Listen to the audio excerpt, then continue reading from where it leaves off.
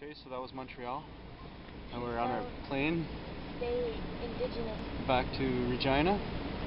And uh, yeah, so do you have anything to say for the last? Stay indigenous. Yeah.